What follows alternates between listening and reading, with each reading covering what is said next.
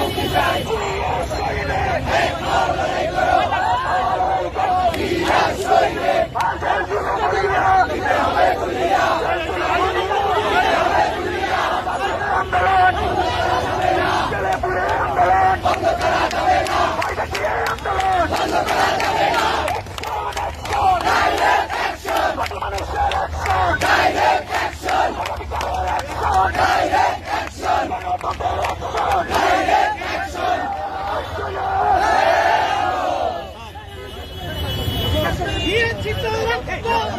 সময় বন্ধুরা, এখন সমাপ্তি বক্তব্য রাখবেন।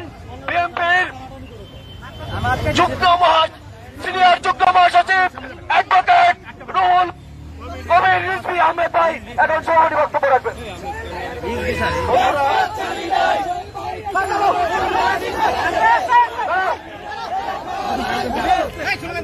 আমরা আমাদের শান্তিপূর্ণ মিছিল ছিল।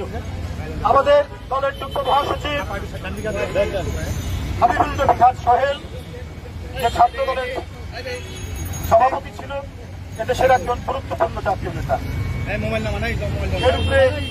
অনিন্দ ইসলাম আলী আমাদের আরও গুরুত্বপূর্ণ নেতা তারা গেছে।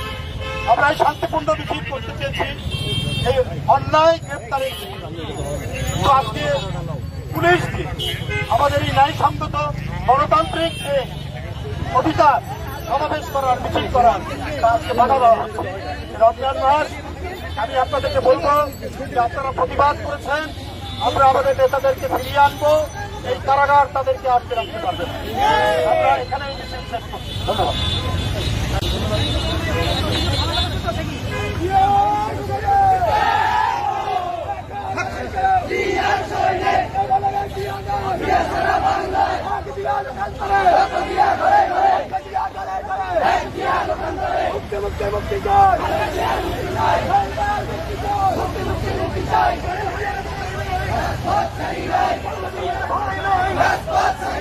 কিছু হলে